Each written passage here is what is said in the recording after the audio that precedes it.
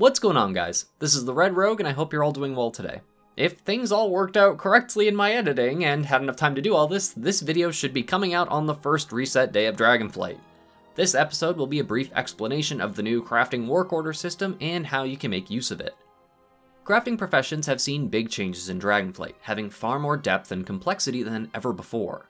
There are specializations, skill trees, and sub-specializations that will dictate exactly what you'll be proficient at crafting or to give extra perks to your crafting skill in general.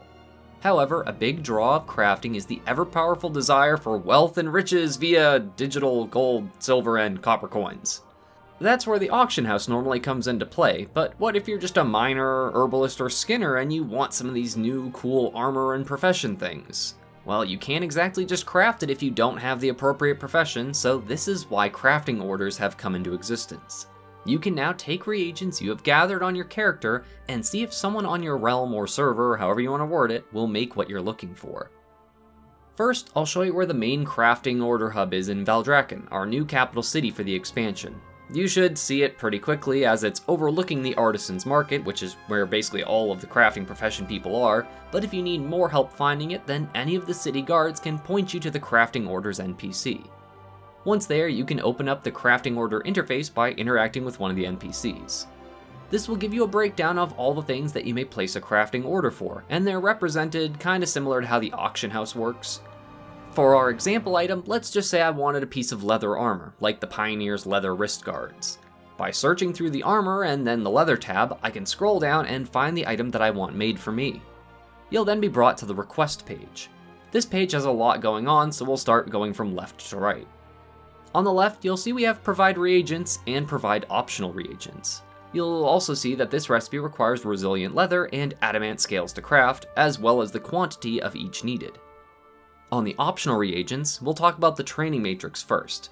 These are items that allow a piece of gear to be crafted up to an increased item level based on what quality level of training matrix you provide to the crafter.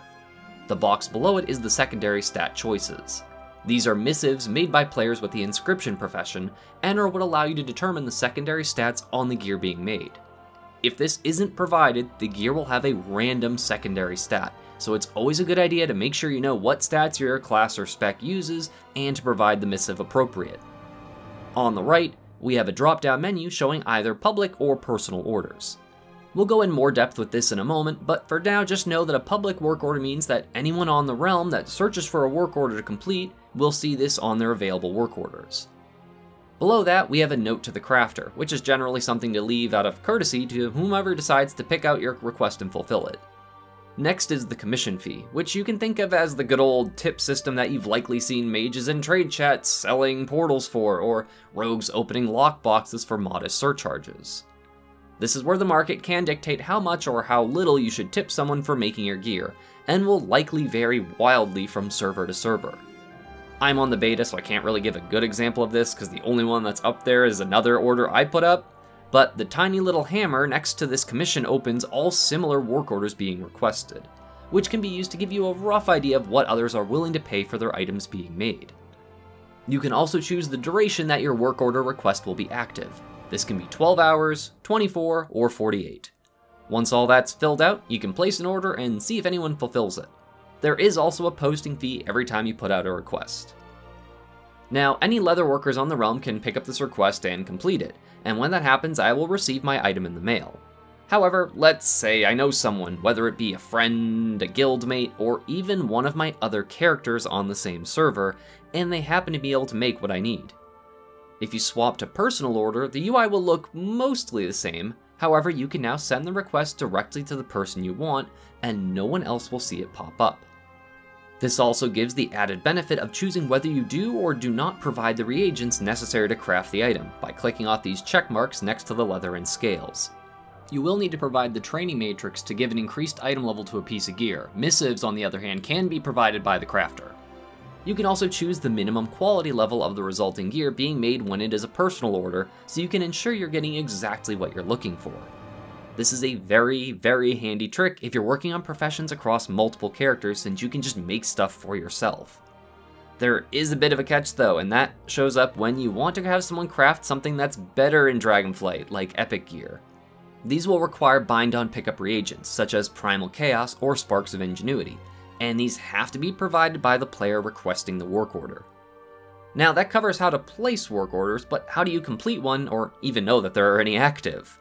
Well, you need to go to a profession crafting station appropriate to that profession. These are usually right next to your profession trainer and can be interacted with to bring up the crafting order panel. They usually look like really cool tables and they have like, you know, machinery and tools on them that are appropriate and they'll usually say like it's a blacksmith's table or a tinkerer's table or, you know, stuff like that. For the public work orders, you can simply click the search button in the upper left corner and it will show all currently available requests. Do note that you can only complete 30 public work orders a day, which you can track in the upper right corner of the work order UI. If an order has less than 2 hours remaining before it expires though, this 30 a day rule is removed, at least that's how it is according to testing as of now. There is no limit to the number of personal orders you can have either, so that's another trick to be mindful of. That should cover most of the basics of the crafting order system. It will take some getting used to, and having to go to a crafting station specific to your profession is definitely something I'm gonna forget to do for at least the first week or two until it becomes more second nature. I hope this brief look into how the work order system, well, works, and it's useful to you folks. If so, please consider leaving a like or a comment, as they're quite helpful as they make the channel and videos more recommended to more people. As always, my appreciation and gratitude to all of my viewers, patrons over on Patreon, and Twitch subs. You folks all help make these Shiba shenanigans possible. Thank you all so very much for watching. This is the Red Rogue, and I'll see you guys around.